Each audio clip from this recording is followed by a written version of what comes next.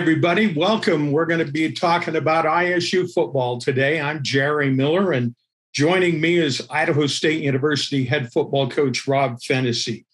Rob, you're in your fifth year as head coach now, and this last year, going back to last season, which was just in the spring, uh, has been, I know, a lot different than any other seasons you've coached. Uh, what kind of adjustments have you and your staff had to make with such a short turnaround from the end of the spring season, which had six games in it, to trying to get ready for this season, which starts Saturday with the home game with North Dakota?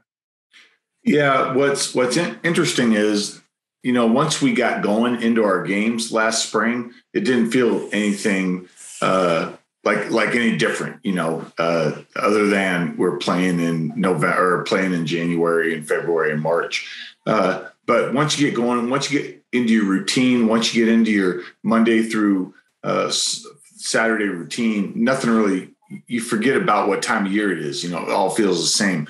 But the the biggest thing is we we gave the guys a month of May off. We knew it'd be tough to uh, uh, get them back like right away after the season. You had to give them some time to decom them as well as us time to decompress. And uh, we sent them home, told them take the the month of May off, and then they came back for Jane uh, for June and were really good about getting into the routine of lifting and and uh, getting back to some normalcy. So uh, other than that, it wasn't really a you know once we got going and practicing and and doing the day by day things that you do during the season, it wasn't that big of a deal. Have you seen a carryover of positives from uh, having a six game spring season to now when you're about ready to kick off again?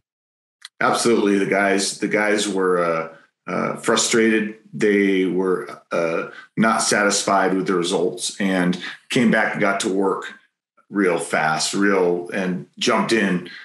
Uh, said that we're we're uh, uh, like that's it. They just they just weren't satisfied with how the way things ended. They wanted to get going again, and then they knew you know we're we're better than two and fourteen.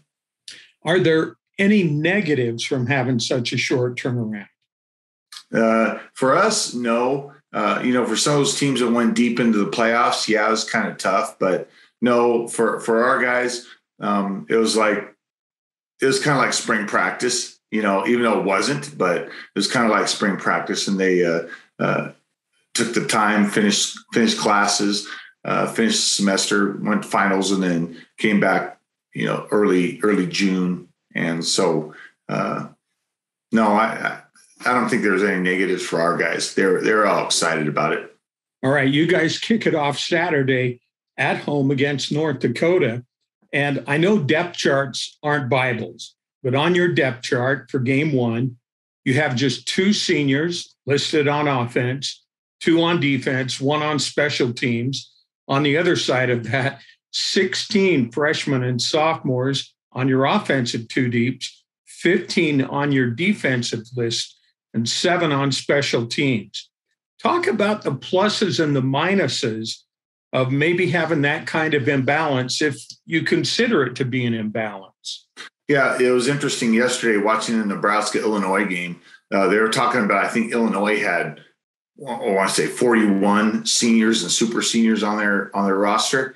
it's like, whoa, you know, we're the other way around. We we have all these freshmen. You got to understand some of these freshmen are third year freshmen, you know, like Raiden Hunter. Uh, uh, shoot, he's the one that comes to mind right away. But there's a bunch of guys on there that are in going into their third year of, of college that are that are still freshmen in terms of eligibility. So uh, we, I think we have close to 50, 40, maybe 50 freshmen in terms of first, second, third year.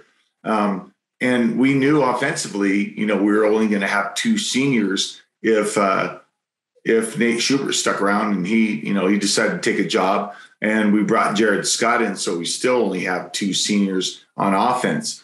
Um, that's a good thing for for down the road. But uh, um, it, you know, it's, it's it's just one of those weird things that you gotta you gotta look at your roster and you have to have a good list of of what you have at each position and what year they are in order to uh, uh, make sure that you're recruiting to the right spots. But uh, what I like is the fact that we're going to have the, the biggest thing. I love all of our guys. I love our team, but we're going to have this offensive line back for two years straight, and and most of them three years. And that's the biggest thing when you have a, when you have a good experienced offensive line that uh, that helps or a lot that that that's a starting point for a lot of things. In terms of positions on the field, we're going to focus on your wide receiving corps for a couple of minutes. A quarterback, Tyler Vander Waal, man, he opened my eyes. I know he turned a lot of heads in his first uh, outings for the Bengals this spring. But you had that group of young receivers that shook things up on offense when some of the older guys were unavailable. Uh, you've also added some new faces in the receiving corps, and some of those guys that weren't in the spring ha- have become available now characterize your receiving corps and the depth you appear to have there? Well, the the receivers, you know, was Tanner Conner and the four freshmen at the time, and uh, what what the spring do, did was enable them to uh, get some game experience, not just pra- practice experience, but game experience. So you have uh, uh Xavier Guillory, uh, Christian Frederickson, you know, Jeff Harrison, and Jalen Henderson. Those four have really uh, benefited from the spring uh, the spring schedule. In addition, we uh, we signed Jared Scott, who's going to be a tight end slash uh, uh, wide receiver, and then Shane Daly Jr. from South Dakota State, who's coming and made an impact. Plus, you know, we're looking at getting Demonte Horton back after a, a, a lengthy rehabilitation due to some injuries.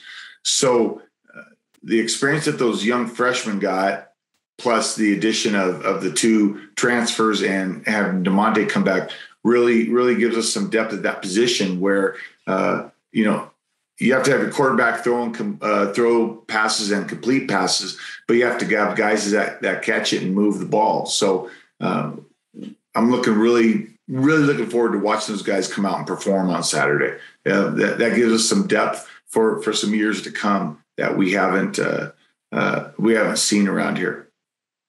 Well, I know uh, in the spring we had to go without Michael Dean and and uh, there were some names that were absent there, but those young guys really really caught our attention, and I'm excited to watch what's going to happen when you guys put the ball in the air this year. Final question: I know your goal is to be in the battle for the Big Sky title every single year and to get into the playoffs. Which side of the ball is going to have to, I guess I would say, make the most improvement the fastest for you to be where you want to be at the end of the year? Yeah, I'm going to throw some coach speak at you. All okay. three phases. All, all three phases. We need uh, uh, we need the offense to be better at at, at possessing the ball, uh, not turning it over, scoring points. We need defense to uh, stop people, not give points up, and to uh, take the ball away. And then uh, special teams, whenever we're on the field, whether it's a, a score team situation or a or a you know punt return or whatever, we we have to be uh, really strong in that phase where David Fiafia really has guys going that way. So uh, it, it's a team thing. We got to get better at every phase of what we do, and uh, uh, it'll be it'll be fun to see the commitment these guys made this summer, the commitment the coaches have made, uh, all that. It, it's going to be it's going to be fun to see that uh, come to fruition on Saturday. Rob, we can't wait till Saturday. Looking forward to seeing you then and talking to you. Good luck this week and good luck Saturday. Yeah, let's fill up Holt, man. Come, hey, get your tickets. Let's go. It's going to be fun. Come make some noise. All right, kick off against the Fighting Hawks of South Dakota Saturday at 1 inside Holt Arena. Coach Phenicie, thanks a lot. Thank you.